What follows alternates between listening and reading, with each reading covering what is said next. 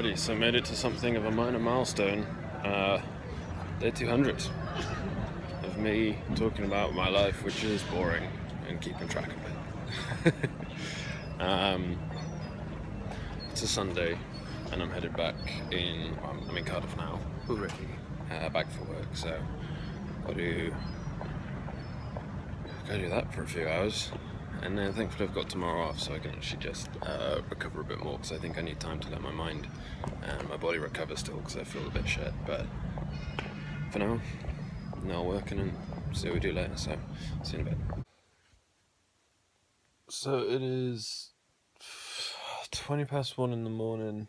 Um that's weird like finished work got home and then was just like so tired that I just coasted. Kind of had some food, and then was watching videos, but like my brain was active enough to watch the videos, but then like other than that, it was pretty much minimal function. And then I kind of passed out for a couple of hours, and I was woken up by a friend of mine sending me a fucking voice message in WhatsApp, and now I'm wide awake again.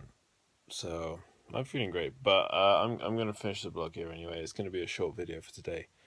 Um, hopefully, having today, uh, having tomorrow off will help somewhat.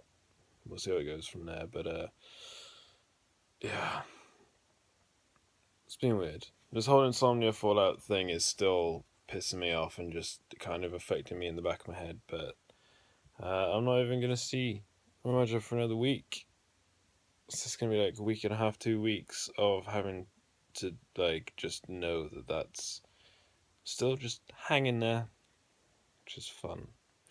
But yeah, um, I need sleep. So if you're watching this, hope you had a good day. And I can't believe I made it to 200 vlogs. Jesus, shame this one was boring.